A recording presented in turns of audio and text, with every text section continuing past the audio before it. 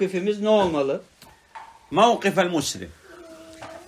Müslümanın tutumu Avvel şey la bud tehmedallah tekul ya Rabbi lekel hamd. Önce Allah hamd edeceksin. Allah subhanahu ve teala ve ted'u Allah en yezidek min fadli ve en yub'idek anel bid'a ve yec'alek min etba'in nebi sallallahu aleyhi ve sellem. Önce Allah'a hamd edeceksin. Şükredeceksin ki Allah azze ve celle seni böyle güzel bir şekilde terbiye etti Allah'ın dinine bidatler, hurafeler katmadın. Bunu kabul etmedin. لأن بعض الناس يعني يتكبر على هؤلاء يقول هذا مبتدع هذا ك...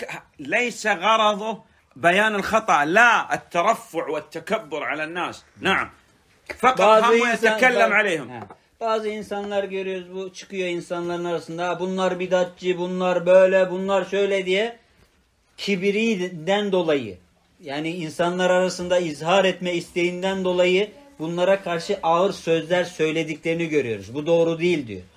الثاني أن تحرص غاية الحرص على إصلاح المجتمع دعوتنا نحن يا أخواننا إصلاح المجتمع لابد أن نصلح المجتمع لابد أن نعلم الناس هؤلاء إخواننا هؤلاء نعم He.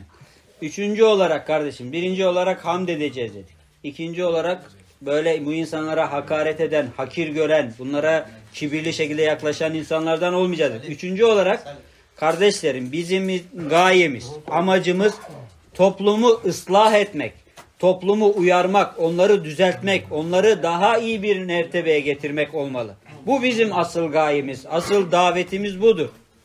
كيف بدأ النبي صلى الله عليه وسلم Peygamber aleyhissalatü vesselam nasıl davetine كان başladı? يسخروا منه عليه الصلاة والسلام Onunla dalga geçiyorlardı. يسبوه Ona sövüyorlardı. ترك الدعوة Hele o daveti terk etti mi? ه- هذا الصبر اللي قلنا İşte bu bizim bahsettiğimiz sabır budur. Sabredeceğiz böyle insanlara نعم شيء anlatacağız. فشيء ينصرنا الله سبحانه وتعالى Öyle adım adım gidersek Allah Tebareke ve Teala bize yardım eder.